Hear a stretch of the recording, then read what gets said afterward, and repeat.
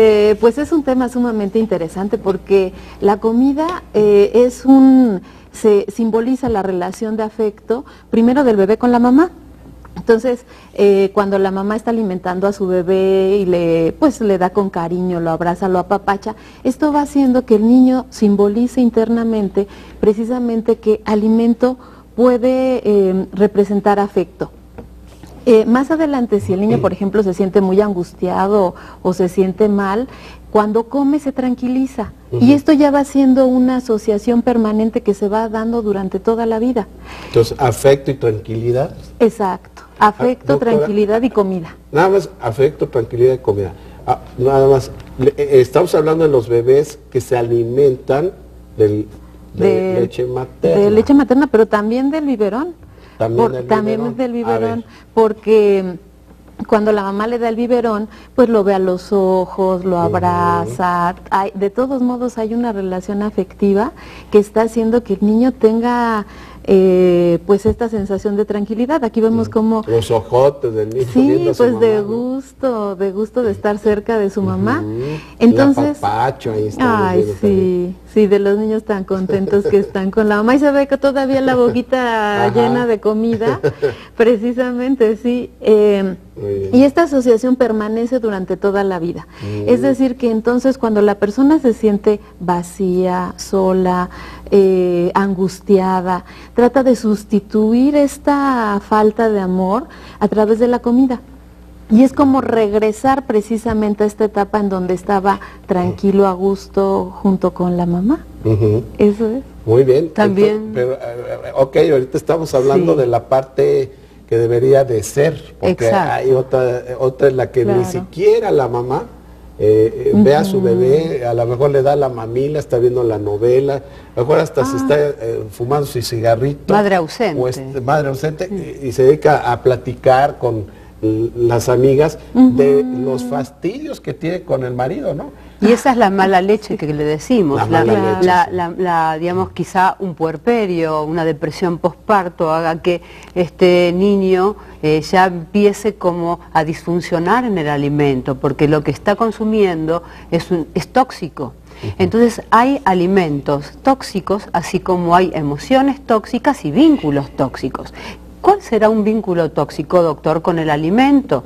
Justamente comer cosas que nos hacen daño, que nos intoxican, que no nos hacen eh, funcionar ni nutrir.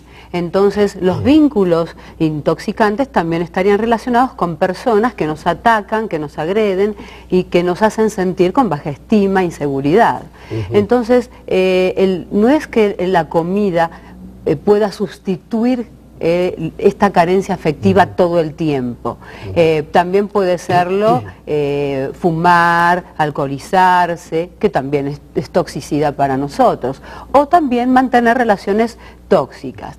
Y por supuesto es como toda dependencia de la mamá, que primero se, se, conjetura en esta dependencia amatoria, el individuo también es dependiente de un objeto eh, que en este caso es la comida, y trata de saciarse a nivel trastorno obsesivo compulsivo, está pensando todo el día en lo que va a comer y claro, esto ya es patológico. Eh, nosotros necesitamos el alimento para nutrirnos y funcionar, pero hay una fantasía adiposa relacionada a que si como me protejo, no tengo miedos, si eh, como eh, estoy como eh, guardando energía calórica para que cuando me falte amor pueda agarrar de esa energía que tengo, que no es mía en definitiva, porque soy, soy una dependiente, digamos, de amor, de los dadores de amor. Entonces, ¿cómo puede este personaje excedido de peso, con sobrepeso, eh, u obeso, ¿cómo podrá eh, sobrevivir sin afectividad o sin amor? En este caso, dándose amor a sí mismo, doctor. Y después vamos a hablar cómo puede lograrlo, cómo uno puede amarse sin necesidad de comer compulsivamente. hay alimentos que producen adicción, porque sabemos que el ácido araquidónico, que la, la, la caseína de la leche o el gluten, hay ciertos estudios en los que se ha visto que el gluten, la gliadina del gluten, produce gliadomorfina. Y así como también la leche tiene caseína, eh, produciendo, o, sea, eh, se genera ahí la casiomorfina. Entonces, entre la casiomorfina y la gliadomorfina eh, son dos sustancias adictivas, así como las grasas. Entonces hay gente que consume grasa, que consume pan, harina, pasta o leche que, y sus derivados con el objeto también de sustituir o bien de una adicción. Y de tener determinadas emociones. Se sabe que el, cerdo o las carnes rojas pueden determinar a la persona con comportamientos eh, agresivos, hostiles, duros. Eh, por ejemplo, el consumo excesivo de leche o lácteos está muy en relación a personas con incertidumbres, con procesos mentales eh, inciertos. Y los niños, por ejemplo, hiperactivos no pueden consumir trigo ni, ni galletas, ni chocolates, porque sí inducen a comportarse más hiperactivamente. Entonces, sí, eh, ya los psiquiatras y, muchos dietólogos están haciendo una, una, analogía entre qué emociones producen determinados eh, productos chatarra o determinados eh, consumos en exceso de determinados alimentos. Sí, es decir que eh, sí, estas personas, por ejemplo, cuando tienen hambre se les antoja algo grasoso, que eso es un poco lo que, lo que estaba diciendo usted, doctor. Y, tiene que ver precisamente con este tipo de, adicciones eh, y en donde entonces la persona, decíamos que se va a sentir tranquila y en cualquier situación emocional difícil, va a buscar, en vez de resolver el problema, en vez de acercarse a la persona, en vez de buscar dejar esta soledad o lo que tenga, es comer. Entonces, por ejemplo, si tiene un problema, si se siente deprimido, si está enojado muchas veces, es precisamente buscar la comida.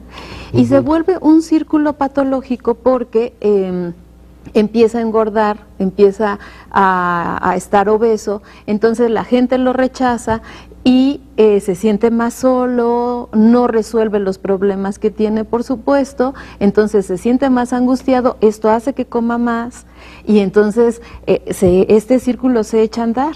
Eh, la cuestión es que las personas se, den cuenta que esto no es una forma de resolver las cosas, por el contrario. es decir, necesita encontrar cuál es la, la fuente del problema. Si está buscando amor, como lo estamos planteando, pues entonces será buscar una, una, relación afectiva, buscar resolver los problemas si tiene problemas de pareja, acercarse a sus seres queridos, empezarse a querer a sí mismo, porque en el fondo esta persona eh, no se quiere a sí mismo y está completando esta falta, como decíamos, a través de la comida. Entonces, mejor estar tranquilo consigo mismo en lugar de comer. Bueno, y gracias por estas imágenes de mi querido productor, pero bueno, aquí vemos gente muy estilizada, estamos hablando de obesidad. Eh, y bueno, pues resulta que hay una, una disciplina nutricional que incluso lo hemos visto nosotros en el tonalismo desde 1971, como a, a través de pequeñas porciones de alimento y comiendo en varias ocasiones, se activa el metabolismo y no permite que ésta se almacene en grasa. Entonces, eh, esto no permite que, se suba de peso. Pero lo de lo que estamos hablando, muchas veces sustituir esta emoción, este cariño eh, por alimento, esta falta, eh, generalmente es sobre los alimentos que nos producen acidez, inflamación, que nos producen que se transformen o se metabolicen en grasa. Eso es, lo curioso, ¿no? Porque los atrapa, como lo decíamos hace un momento, más el pan, la harina, la pasta, las grasas. Las grasas y entonces eso es lo que hace que en un momento, pues dado la gente sube de, de peso, ¿no?